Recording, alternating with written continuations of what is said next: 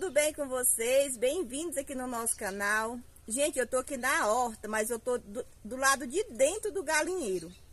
Porque esses dias para trás aí eu mostrei que os nossos tomates, eles estavam precisando de poda, poda de limpeza. E um tutoramento aqui na tela. Então eu vou fazer a poda hoje, já podei parte deles, os lá de dentro da horta eu já podei. Então eu vou limpar esses aqui, porque agora vai dar para vocês verem a produção dos nossos tomates. Aí ah, eu vou compartilhar com vocês, gente. Para quem me acompanha aqui, lembra que eu recebi uma semente de uma amiga do Japão. Então, já fiz o plantio e hoje já vai ter colheita, minha gente. Não plantei todas ainda, porque eu tô ainda assim, sabe, pensando bem onde que eu vou plantar elas. Mas o que eu plantei já deu certo e hoje vai ter colheita, tá bom?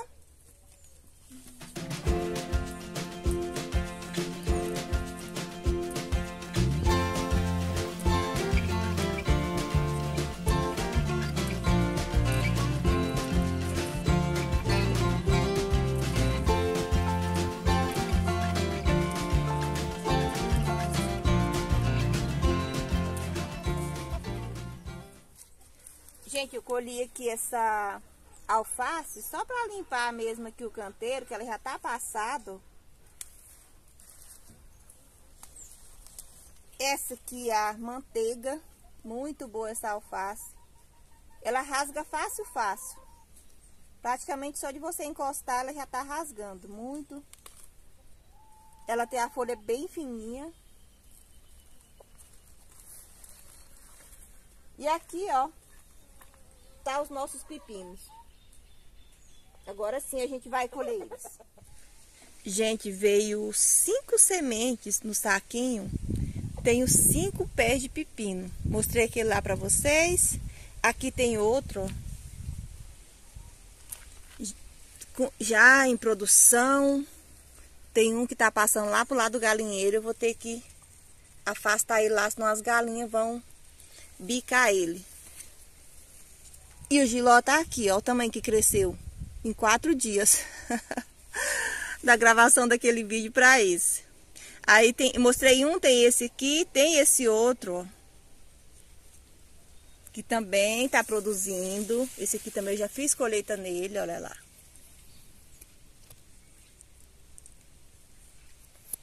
E tá subindo. E tá tudo aqui, gente, encostadinho na tela. É, não atrapalha em nada, é plantar as outras coisas. E aqui tem mais dois pés, os maiores estão aqui. Crescimento a todo vapor e produção também. Eles, os mais de baixo deram tão grande que eles estavam se enterrando. Olha aqui. Eu vou deixar um para semente, mas eu tô com medo de deixar esse aqui. Como ele está encostado na terra, ele apodrecer. Mas eu vou arriscar porque ele é um dos maiores. E olha aqui, ó. Eles crescem tanto que eles vão assim, ó. Aquele lá as galinhas bicou. Então eu vou colher esses aqui e depois eu vou ali mostrar para vocês a poda e a produção dos tomateiros. Olha aqui, gente, esse aqui foi um dos primeiros que produziu. Ele encostou na terra, ó. Aí por isso que eu não vou deixar ele para semente, que eu tenho medo dele apodrecer. Vou pegar um outro aqui.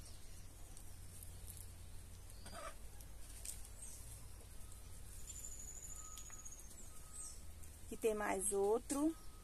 Ah, gente, a Neuza me mandou também semente de tomate cereja. Aquele que dá assim os cachos, desse tamanho assim. Então, eles já estão em floração, aí quando tiver produzindo, acho que vai dar mais ou menos na mesma época que a goia. Aí eu compartilho com vocês, tá bom? Aqui tá a nossa colheita de pepinos, eu vou tirando pouco a pouco para não, pra não perder. Agora vamos ali ver a nossa produção de tomate cereja, que tá bem carregado os pés. Ainda ficou esses galhos aqui para arrumar, é, para pre, é, prender eles, né? Porque senão eles quebram, eles é literalmente quebra com o peso, que estão muito bonito, muito frondoso. Mas já deu para descobrir os frutos, ó, tem bastante tomate aqui nesses pés. E eles vão subindo aqui, ó. De acordo que vai subindo, eu vou fazendo a limpeza. Agora vamos ver aqueles outros ali. Ver como que tá a produção lá. Esse aqui é aquele tomate amarelo. Ele carrega bastante. Olha a florada que ele tá. Carrega muito. Eu quase perdi a semente dele. Mas já tá aí produzindo novamente. E aqui, pessoal, vocês lembram que naquele vídeo, último vídeo que eu postei aqui da horta, esse aqui tava uma mata só. Então, agora já deu para descobrir os frutos, ó.